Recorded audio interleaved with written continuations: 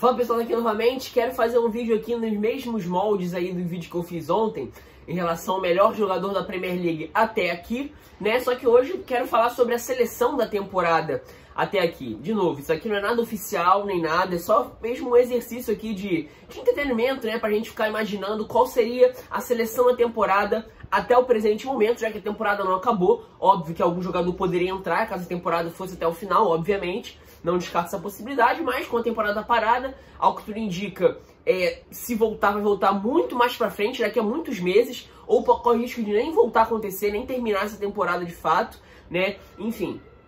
Então, para não ficar sem vídeo no canal, eu vou fazer esse vídeo aqui no mesmo molde do que ontem. É só um exercício aqui de entretenimento pra gente aqui discutir qual é a seleção da temporada até aqui. Nada oficial, né? Nenhuma escolha oficial nem nada, tá? Então vamos lá, estou aqui com a minha é. Esse vídeo deve ficar um pouco longo, porque eu quero fazer algumas considerações também. Tem vários é, é, menções honrosas, né, jogadores que eu não podia deixar de fora. Na faixa de meio campo tem um monte de jogador que eu não podia deixar de fora, jogadores que fazem ótimas temporadas, né? E enfim, vamos começar logo para não perder tempo.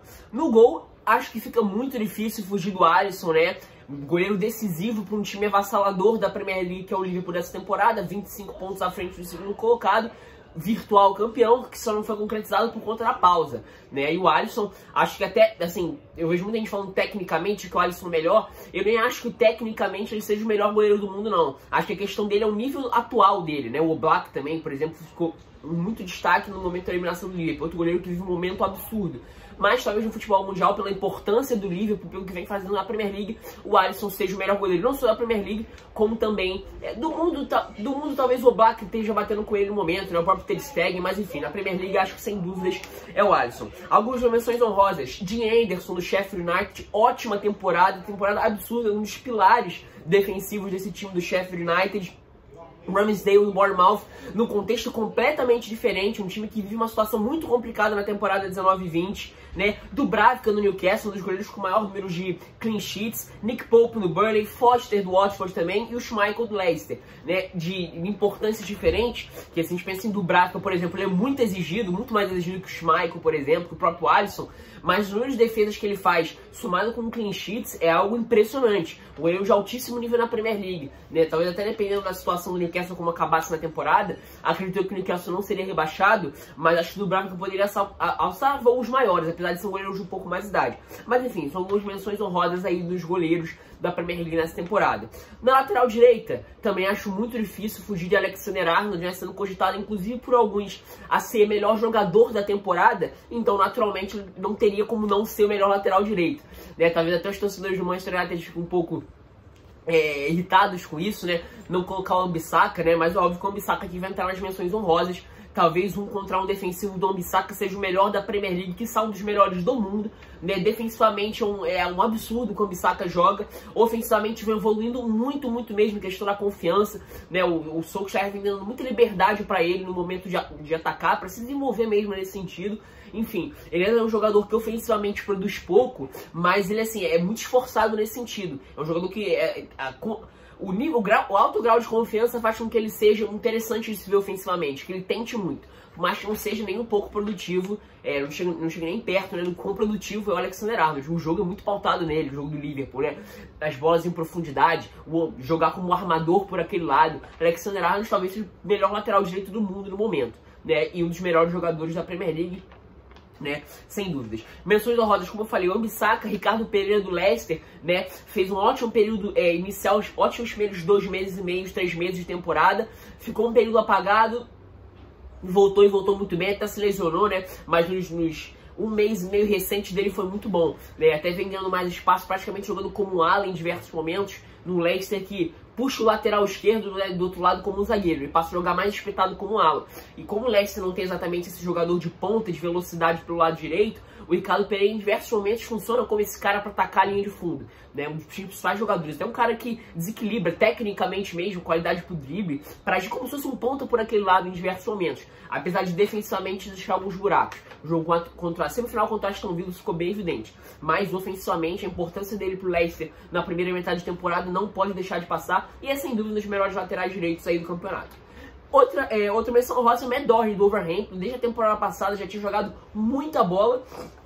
É até uma função de ala, não é bem lateral, mas um ala, jogador irlandês muito importante também, começou a temporada machucado, né? Até pensou se querer perder espaço, dando Traoré jogando por ali, quando voltou, recuperou a posição, o entendimento dele com o espanhol é muito interessante, olha atacando por dentro, olha atacando a linha de fundo, um jogador que aparece dentro da área para definir diversos lances, bate o jogador, gosto muito dele, Matt Doherty, um dos bons alas, né? Não é lateral direito, é, em esquema, é um ala, então o funcionamento é completamente diferente, mas é um dos destaques aí de jogadores defensivos pro lado direito, digamos assim, tá?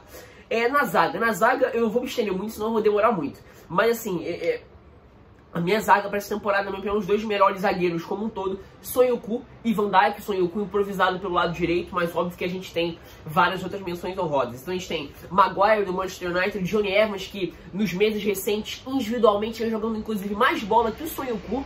Mas se a gente pensa na temporada como um todo, Sonhoku foi melhor que ele, Johnny Evans, né? Chegou até essa quantidade no Manchester City, é, 17, 18, né, um período complicado quando ele estava jogando no West Bromwich, que depois foi rebaixado. O trio de zaga do Sheffield United eu tenho muito que valorizar, não tanto no quesito defensivo, né, muito mais no quesito de armação, principalmente o O'Connell e Chris Basham atacando pelos lados em diversos momentos, às vezes até atacando como pontas, armando por aquele lado. John Negan também até ficou machucado no período, mas é muito importante, né? A gente pode falar também de Connor Cole e o Roman Sais do Overhampton, até novamente num esquema diferente, zagueiros um pouco mais protegidos, mas fazem temporadas muito boas, principalmente o Sais, né, que pode jogar também como volante, né, no Overhampton tinha jogado basicamente como um homem mais à frente no meio campo.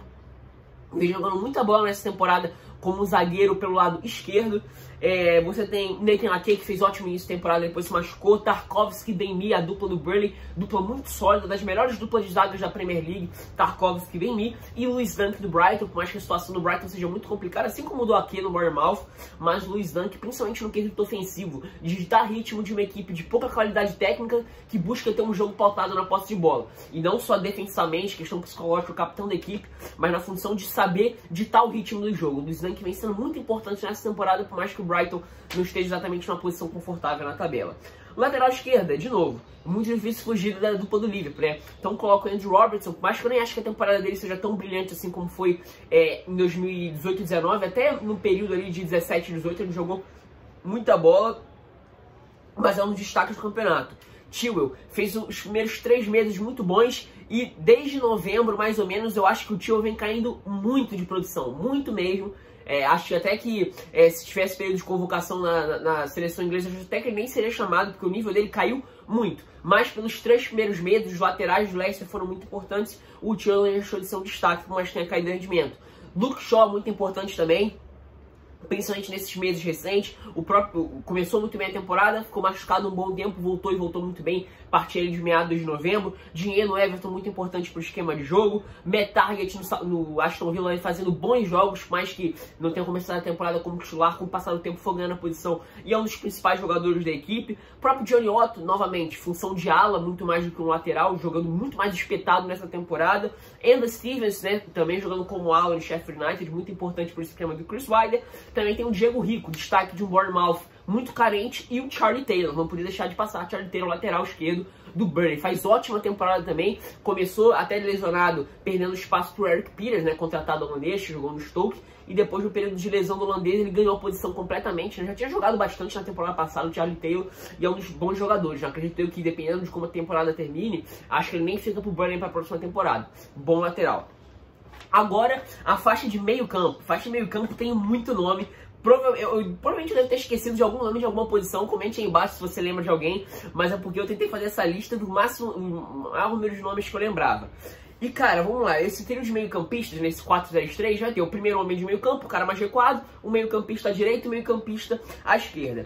O, o, primeiro homem de meio campo, esse jogador, ele não jogou nessa função na temporada. Esse jogador jogou como meio campista à direita. Mas eu não poderia deixar esse jogador de fora, porque ele foi um dos principais jogadores da sua equipe e dos principais jogadores do campeonato. Então não poderia deixar ele de fora jogando numa posição onde para disputar com outro jogador ele perderia. Então eu coloco como primeiro homem de meio campo Anderson. Impossível, não tem como não ter Jordan Anderson nessa, nessa, nessa seleção na temporada, né? O ano de 2019 do Anderson foi um absurdo, um dos principais jogadores, né? Começando, jogando numa função diferente do que era de se esperar dele no primeiro momento, jogador que nunca conseguiu dar o salto de nível que se esperava no primeiro momento, e jogando como meio campista pela direita no esquema é, do Jürgen Klopp nesse 4-3-3, ele voou, ele simplesmente voou, em diversos momentos atacando como um ponta por aquele lado, funcionando mesmo como jogador do corredor, né, já que o Salah centraliza, o Alexander Arnold funcionando como uma parede em diversos momentos, os dois armando por aquele lado, um dos principais jogadores do Liverpool, e no período de ausência do Fabinho, que é um dos destaques do campeonato nessa função de primeiro homem de meio campo, vale se destacar, ele jogou muito bem como esse primeiro homem, né? Como cara da iniciação das jogadas, né? Um dos jogos mais destaques aqui, principalmente pra gente aqui no Brasil, foi o jogo contra o Flamengo no Mundial. Mas ele jogou vários outros jogos muito bem dessa forma. Os principais jogadores do Liverpool na temporada não podia deixar de fora, por mais que não tenha jogado nessa função na temporada. É, meio campista à direita, Kevin De Bruyne, na minha opinião, o melhor jogador do campeonato, não poderia estar de fora dessa seleção na posição onde ele mais joga, né? Como meio campista à direita, ora como meio central, mas como é mais num trio à direita, eu coloquei ele aqui. Melhor jogador do campeonato, não me estender sobre De Bruyne, assista o vídeo que eu fiz ontem falando sobre o melhor jogador da Premier League até aqui.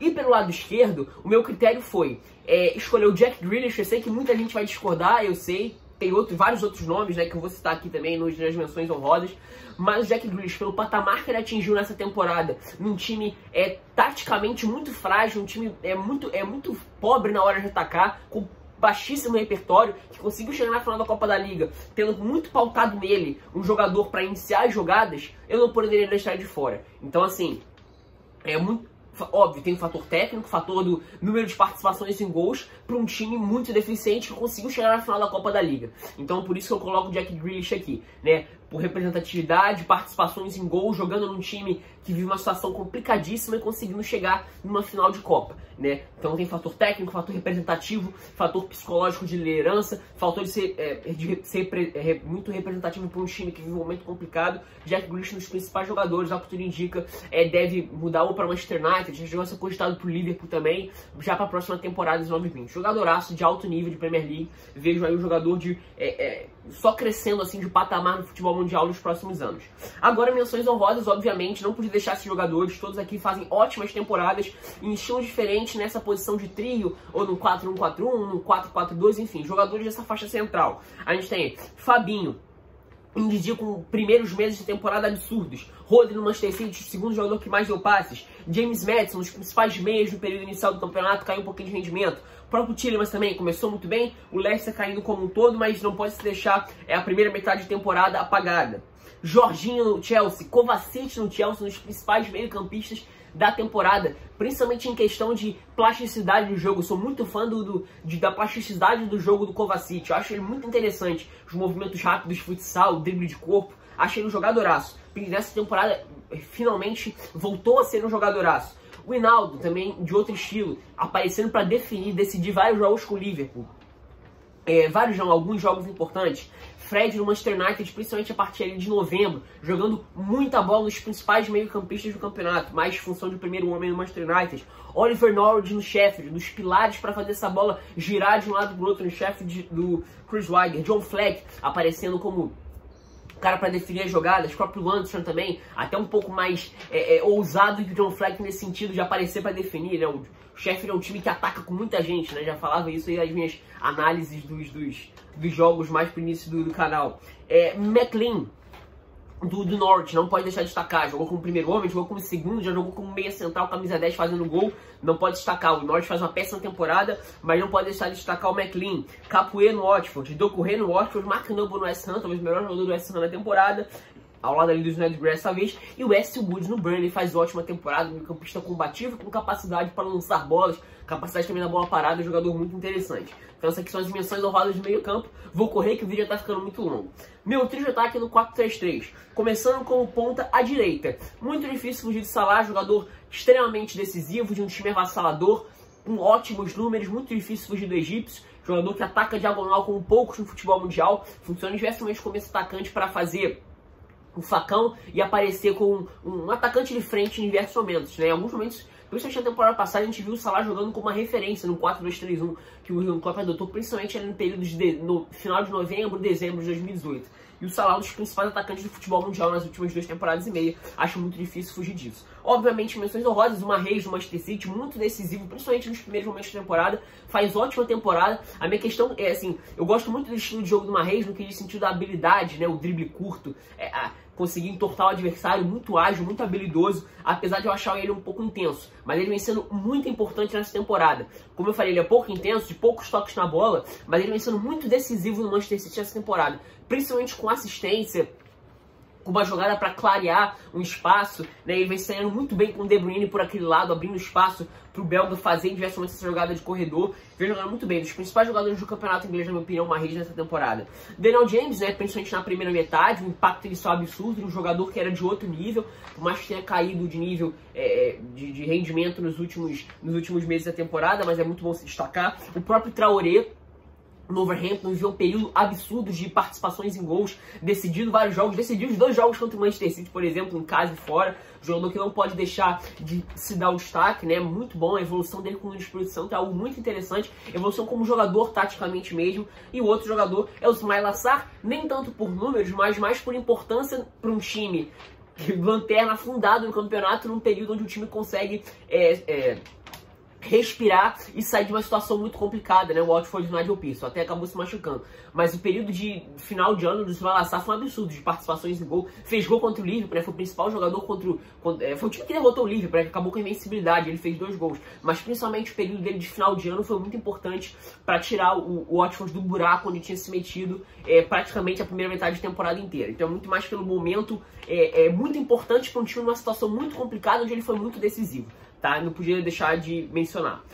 Centroavante, é, tinha algumas opções aqui, mas eu fui com o Vardy é, basicamente por conta dos números, né? É o artilheiro do campeonato, 19 gols, então é principalmente na primeira metade, né? Porque os últimos dois meses e meio do Vardy, mais ou menos, um mês e meio, são bem fracos, de nível bem ruim, nem participando dos gols. Se não me engano, ele até fez gol. É, no jogo recente contra o West Ham, né? É, o Leicester meteu 4 a 0 mas é, é uma, uma, uma goleada que foi construída muito depois, uma, foi construída muito por conta da, da situação do jogo.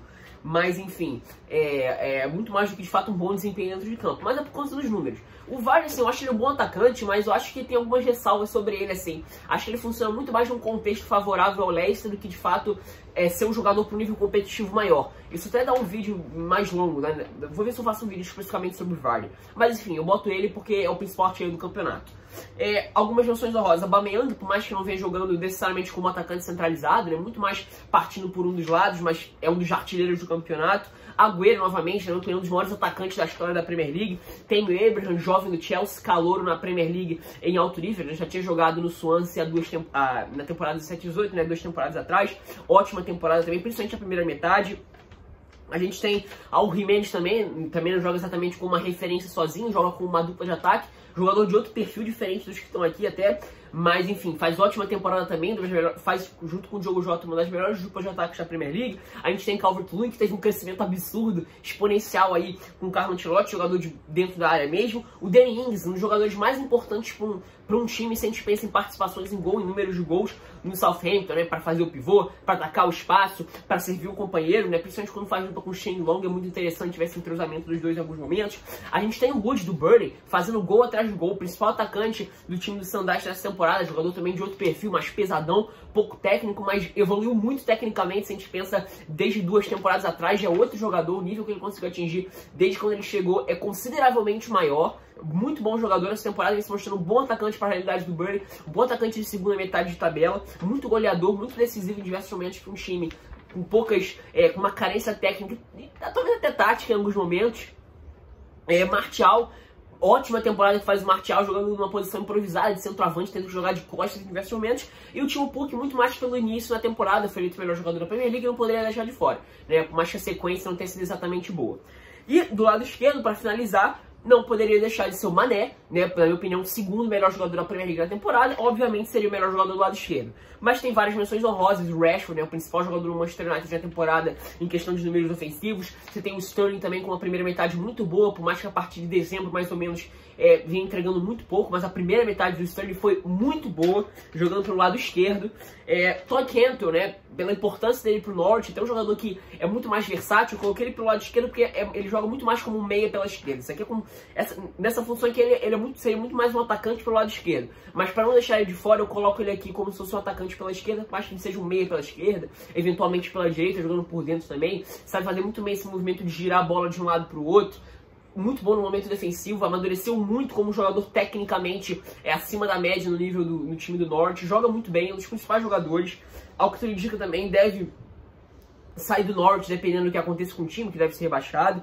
Enfim, outro jogador de destaque, McNeil. temporada passada dele já tinha sido muito boa e nessa temporada não é diferente. Atende o mesmo caso do Kent, ele é um meia pela esquerda, mas estou colocando aqui para não deixar de fora. Porque é um jogador de lado esquerdo, digamos assim, um jogador ofensivo de lado esquerdo, né? Jogador que sabe muito bem fazer essas jogadas de atacar a linha de fundo, em diversos momentos também se desloca como meia central para dar espaço para o Charlie Taylor nas subidas, né? Nos momentos de ataque do lateral por ali.